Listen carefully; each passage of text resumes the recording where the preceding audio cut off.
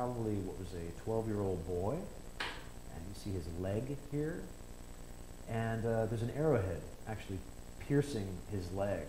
Um, so we do know, right, again, this, this, this boy was probably, again, running uh, from the onslaught of troops, uh, these Medes and Babylonians who were taking the city, uh, and uh, was killed during the battle.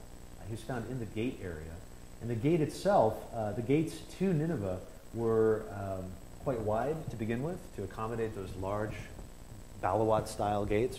Uh, by the end of Nineveh, again around 615, 612, we see the construction of temporary, uh, temporary walls that narrow the gate uh, to keep people from breaking in. So Nineveh was clearly under siege for some time before it fell. And what we see uh, again is that uh, after the fall of Nineveh, the city is looted, it's vandalized, and these unpopular images uh, like Sennacherib's are uh, intentionally mutilated.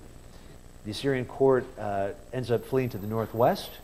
They go to the city of Haran and stay there until about 609, uh, when they too are defeated, and finally the Assyrian Empire comes to an end. So um, we're going to pick up with the Neo-Babylonians next time, but uh, just to recap, again, we've looked at seven major Neo-Assyrian kings. We've looked at their reigns. Uh, this is going to be on the slide as well when I post these to BSpace so you can check it out. But um, in terms of memorizing them, in case they come up on, a, uh, on an exam, this is a trick that I used when I was learning this. Um, so A-S-T-S-S-E-A. Remember all subjects that submit silently empower Assyria.